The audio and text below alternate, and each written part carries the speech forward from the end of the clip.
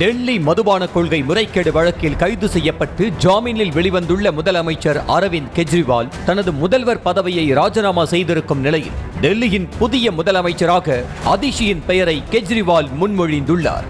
இதனை அனைத்து எம்எல்ஏக்களும் ஒருமனதாக ஏற்றுக்கொண்டனர்.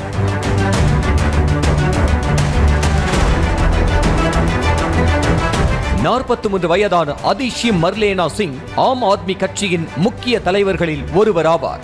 மேலும் டெல்லி அரசின் பல்வேறு துறைகளை கவனித்து வருவது மட்டுமில்லாமல் அம்மாநில அமைச்சரவையில் உள்ள ஒரே பெண் அமைச்சராகவும் அதிஷி திகழ்கிறார். மேலும் மூன்றாவது பெண் முதலமைச்சராக பதவியேற்க உள்ளார். ஆயிரத்து தொள்ளாயிரத்து எண்பத்தொன்றாம் ஆண்டு ஜூன் எட்டாம் தேதி டெல்லி பல்கலைக்கழகத்தின் பேராசிரியர்களான விஜய் சிங் மற்றும் திரிப்தா வாகி தம்பதிக்கு மகளாக பிறந்தவர்தான் அதிஷி. இவரது முழு பெயர் அதிஷி மார்லெனா சிங். அவர் பெயரில் வரும் மார்லெனா மார்க்ஸ் மற்றும் லெனின் பெயரை இணைத்து குறிக்கிறது என்று ஆம் ஆத்மி கட்சியினர் கூறுகின்றனர். டெல்லியில் உள்ள ஸ்பிரிங் டேல்ஸ் பள்ளியில் தனது பள்ளி படிப்பை முடித்த அதிஷி இரண்டாயிரத்து ஒன்றாம் ஆண்டில் டெல்லியில் உள்ள செயின்ட் ஸ்டீஃபன் கல்லூரியில் வரலாற்றில் இளங்கலை பட்டம் பெற்றார். பின்னர் ஆக்ஸ்போர்ட் பல்கலைக்கழகத்தில் பயின்ற ஆதிஷி இரண்டாயிரத்து மூன்றில் வரலாற்று பாடத்தில் முதுகலை படிப்பை முடித்தார்.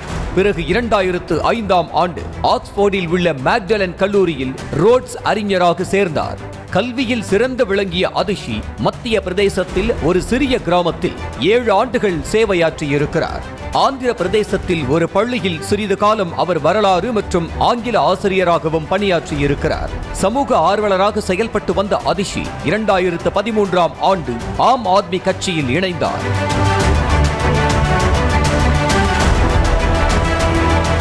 இரண்டாயிரத்து பதினைந்தாம் ஆண்டில் மத்திய பிரதேசத்தில் நடந்த ஜல் சத்தியகிரகத்தில் அதிஷி கலந்து கொண்டார். மேலும் இரண்டாயிரத்து பதினைந்தாம் ஆண்டு அரவிந்த் கெஜ்ரிவால் தலைமையிலான டெல்லி அரசின் துணை முதலமைச்சர் மற்றும் கல்வி அமைச்சருமான மணீஷ் சிசோடியாவின் ஆலோசகராக அதிஷி நியமிக்கப்பட்டார்.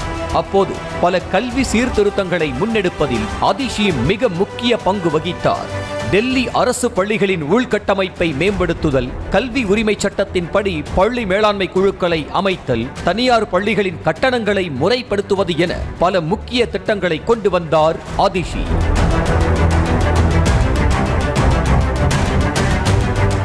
இரண்டாயிரத்து பத்தொன்பதில் நடைபெற்ற மக்களவை தேர்தலில் ஆம் ஆத்மியின் சார்பில் கிழக்கு டெல்லி தொகுதியில் போட்டியிட்டு தோல்வியடைந்தார் ஆதிஷி சிங். தொடர்ந்து இரண்டாயிரத்தி இருபது டெல்லி சட்டமன்ற தேர்தலில் தெற்கு டெல்லியின் கல்காஜி தொகுதியில் போட்டியிட்ட அவர் பதினொன்றாயிரத்து நானூற்று இருபத்தி ரெண்டு வாக்குகள் வித்தியாசத்தில் வெற்றி பெற்று டெல்லி சட்டப்பேரவைக்கு எம்எல்ஏவாக தேர்ந்தெடுக்கப்பட்டார் கடந்த ஆண்டு நடந்த அமைச்சரவை மாற்றத்தில் அதிஷுக்கு அமைச்சர் பதவி வழங்கப்பட்டது பதினான்கு துறைகளுக்கு அமைச்சராக பதவி வகித்து வருகிறார் அதிஷி मैं आतिशी मार्लिना सत्य निष्ठा से प्रतिज्ञान करती हूँ कि मैं विधि द्वारा स्थापित भारत के संविधान के प्रति सच्ची श्रद्धा और निष्ठा रखूंगी அதிஷி ஒரு பொம்மை முதலமைச்சராகத்தான் செயல்படுவார் என பாஜக தரப்பிலிருந்து விமர்சனங்கள் முன்வைக்கப்பட்டாலும் டெல்லியை ஆளும் காங்கிரஸ் பாஜக அல்லாத பெண் முதல்வராகவும் மூன்றாவது பெண் முதல்வராகவும் தடம் பதிக்கிறார் ஆதிஷி செய்திகளை உடனுக்குடனும் துல்லியமாகவும் தெரிந்து கொள்ள சப்ஸ்கிரைப் பண்ணுங்க